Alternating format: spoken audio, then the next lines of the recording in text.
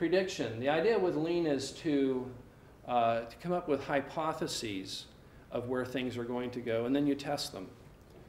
So uh, there's something called the PDSA, um, Plan, Do, um, sorry, I'm used to PDCA, Plan, Do, Check Act, uh, PDS Study Act, sorry. Um, uh, methodology called TRIZ, which is, I can go on and on about that. It's quite amazing. It's a theory of creativity and of projection of the future, actually, through technical means. Uh, and again, change-driven design, where you're projecting what will happen. With Agile, there seems to be, at least the stuff I've read, that there's this tenet that the future is unknowable, so don't worry about it. And do what you can with what you know and evolve as you learn. And now, I'm not saying that in a negative sense. In fact, you'll see in just a minute. Uh, I actually think there's a positive element to that. Um, and, and one of the things that goes into that is like, like uh, this consultant says, much of what is known is actually not true. All right? So we have emergent behavior, short development cycles enable quick reaction to learning and customer involvement, all factoring into that. So to sort of summarize those, uh, Agile is, is uh, effective. We've established that. We took the numbers. You know. Uh, it's simpler uh, than Lean is by quite a bit. Uh, there's fewer techniques and they're easier to learn. There's less change to implement in the organization in order to start doing Agile. Uh, but it's also less powerful, as we saw from the, the numbers at the beginning. Uh, it's at the level of the individual systems and it has terrific human values. Lean is also effective. It's harder to do. Um, it's more change required. I mean, you have to take a system view of your entire enterprise uh, and, and, and redo that, at least at the entire project level and, and generally higher than that. Uh, also more powerful, goes to the system and system of system level, and also has great values. And this is another quote from Richard. I asked him, what did he think about, you know, tell me what you think, you know, agile, lean. And um, this was his reaction, that it's, agile is really elegant. He, he is a great admirer of agile. Uh, he said it's local and team focused. It's based on a number of simplifying assumptions.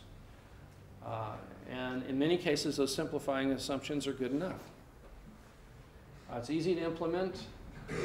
And he said he's actually talked a lot with different agile advocates. And he said when you combined the lean tools versus the agile tools head on head, that they were both in agreement that the lean tools were more powerful.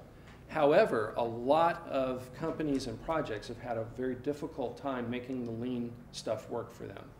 Again, it's more than just adopting a, a tool or a technique. It's it's embracing system-wide change, and that takes commitment from the top down. So it's very difficult to just grow it organically from the bottom up. All right? So here's where I, I, get to say that I think there's value to both of those. Uh, the lean side is basically get prepared, you know, get ready up front, do your homework, sort of a thing. Agile is get started, get, get working. So I believe that uh, a combination of the two of those is actually very appropriate. You do the preparation that you can do up front, but you do it, you know, as hard as you can, and then get going, because you're going to learn as you go. So I think that there is room to combine those, those techniques of lean and agile as we discussed.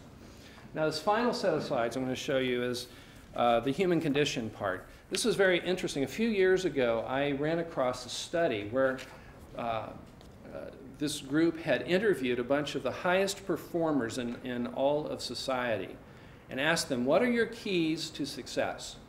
So they talked to leaders in industry, leaders in academia, leaders in the government, um, inventors, entrepreneurs, all extremely successful people. And, and they gave their, their write-ups. And so what I did was I took those and I condensed them into an outline of the principles and so for most of the principles, you had multiple people that were saying those principles in one way or the other. Now, I was struck here just recently when I pulled those back out at how well those align with, uh, with lean and agile and the things they recommend. So I'm going to run through and show you these.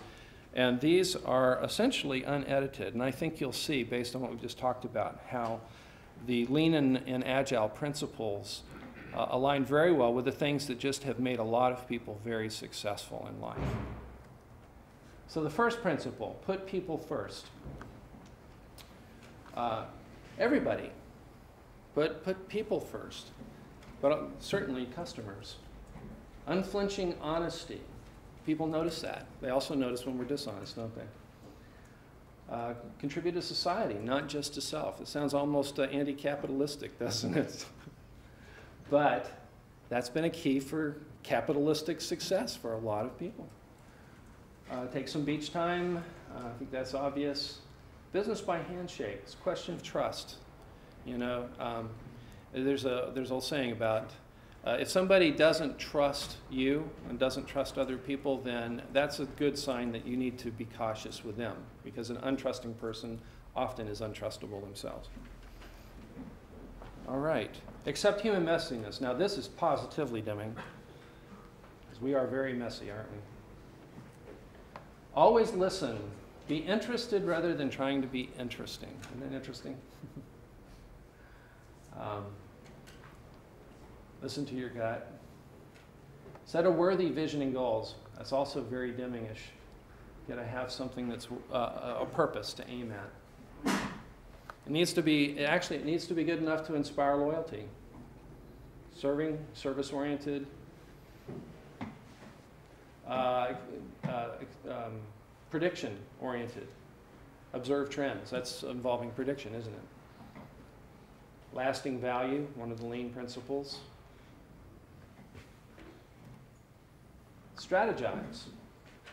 Uh, I love that first one. It's the rebels who make the difference, being sort of one myself. Conventional wisdom is always wrong. That's actually served us fairly well in investing here recently.